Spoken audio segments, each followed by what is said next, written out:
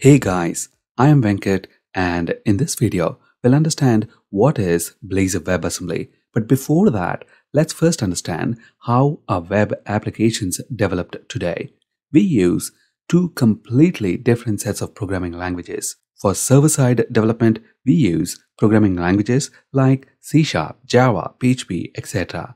For the client-side development, we use JavaScript frameworks like Angular, React, Vue, etc. There's no doubt these JavaScript frameworks dominated client-side web development up until recently.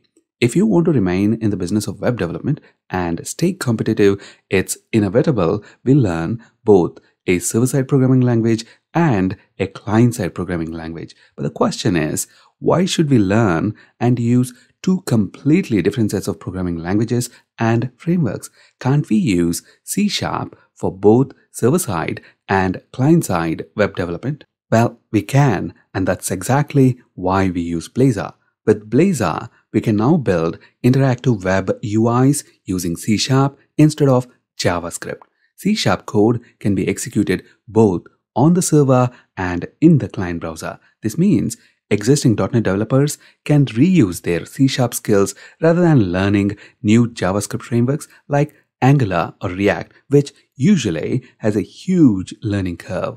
At this point, you might be wondering, browsers understand and execute only JavaScript. How is C Sharp code executed in the client browser? Well, the answer is WebAssembly, which is commonly called WASM in short. Blazor can run C Sharp code directly in the browser using WebAssembly. It runs in the same security sandbox as JavaScript frameworks like Angular, React, Vue, etc. Not just C Sharp. In fact, we can run any type of code in the browser using WebAssembly.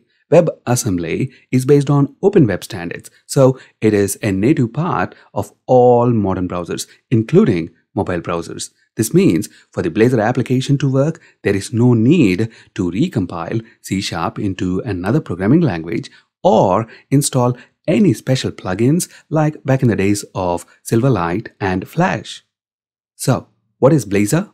Well, just like many of the client-side development frameworks like Angular and React, for example, Blazor is also a single-page application framework, that is SPA framework in short.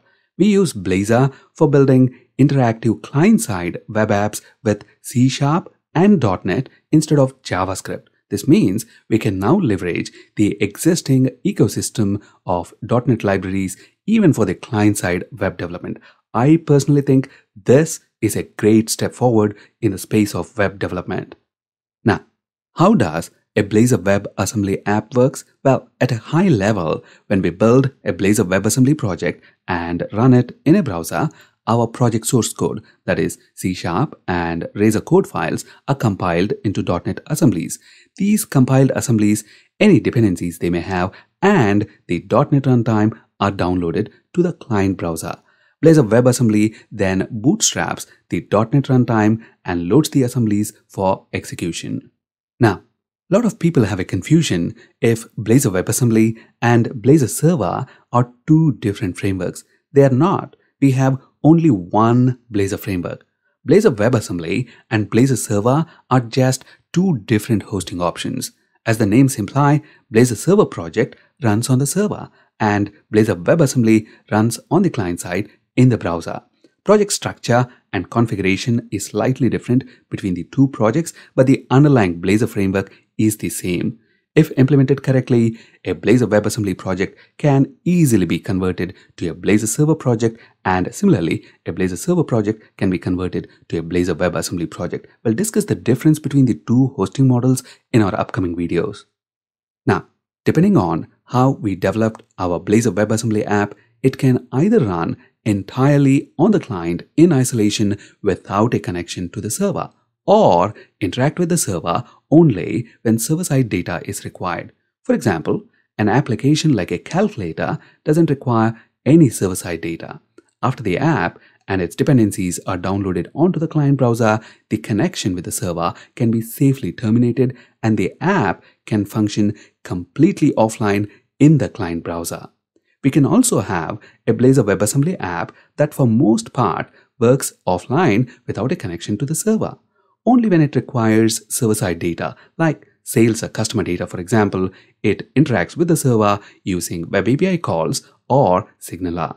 This is very similar to how Angular or React applications work and this is the model we'll be using in this course to build a real-world data-driven web application. What are the course prerequisites? Well, three things, C Sharp, HTML, and CSS. All you need are the basics. You don't have to be an expert by any means.